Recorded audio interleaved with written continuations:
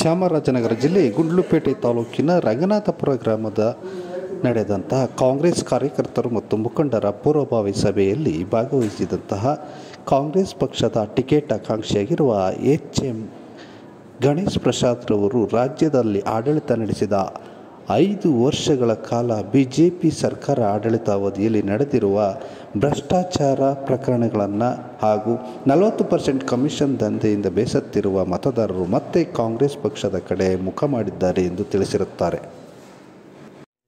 ಸರ್ಕಾರ ಬಂದಾಗ ನಿಮ್ಗೆ ಏನಾಗಬೇಕು ಎಲ್ಲನೂ ಮಾಡ್ಕೊಡೋ ವ್ಯವಸ್ಥೆ ಮಾಡ್ತೀವಿ. ಈ ಕಡೆ ನೀವು ನೋಡಿದಿರಿ ಈಗ ಬರೀ ಬಂದು ಸರ್ಕಾರ ಬಂದಾಗ ನಿಮ್ಗೆ ಏನಾಗಬೇಕು ಎಲ್ಲನೂ ಮಾಡ್ಕೊಡೋ ವ್ಯವಸ್ಥೆ ಮಾಡ್ತೀವಿ.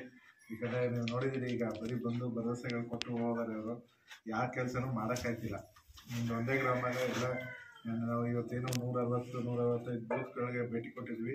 ಎಲ್ಲ ಕಡೆ ಒಂದೇ ಸಮಸ್ಯೆ ಏನಂದ್ರೆ ಶಾಸಕರು ಸ್ಪಂದಿಸುತ್ತಿಲ್ಲ, ಕೆಲಸಗಳು ಆಯ್ತಿಲ್ಲ. ಅನ್ನೋದೇ ಜಾಸ್ತಿ ಜನ ಮಾತಾಡ್ತಾರೆ ಅವರು ಯಾರೋ ಇದನ್ನು ಮೂಡ್ ಆಗಿದೆ ಅನ್ನೋದು ಕಮ್ಮಿ, ತೀರಾ ಕಮ್ಮಿ ಜನ. ಸೊ ಹಂಗಾಗಿ ಅದನ್ನೆಲ್ಲ ಮನಸ್ಸಲ್ಲಿ ಇಟ್ಕೊಂಡು ಏನು ಇವತ್ತು ನೀವೆಲ್ಲ ಇಲ್ಲಿ ಸೇರಿದ್ದೀರಿ, ನೀವೆಲ್ಲ ನಿಮ್ಮ ಕೈಲಿ ಐದೈದು ಓಟ್ ಹಾಕ್ಸಿದ್ರು ಇಲ್ಲಿ ಒಳ್ಳೆ ಓಟೆ ಬರ್ತದೆ. ದಯವಿಟ್ಟು ನೀವೆಲ್ಲ ಕೆಲಸ ಮಾಡಿ. ಈಗ ನಿಮ್ಮ ಊರಿಗೆ ಗ್ರಾಮ ಪಂಚಾಯತಿ ಅಧ್ಯಕ್ಷ ಕೊಟ್ಟಿದ್ದೀವಿ. ಸೊ ಹಂಗಾಗಿ ಅದನ್ನೆಲ್ಲ ನಾಲ್ಕು ಇಟ್ಕೊಂಡು ಮಳೆ ಪ್ರಸಾದ ಮಾಡಿದ ಕೆಲಸನೂ ನಾಲ್ಕು ಇಟ್ಕೊಂಡು ನಾವು ಕೂಡ ಕರೋನಾ ಸಮಯ ಇರ್ಬೋದು, ಬೇರೆ ಬೇರೆ ಸಮಯದಲ್ಲಿ ನಾವು ನಮ್ಮ ಕೈಲಾದ್ದೆಲ್ಲ ಮಾಡಿದ್ದೀವಿ.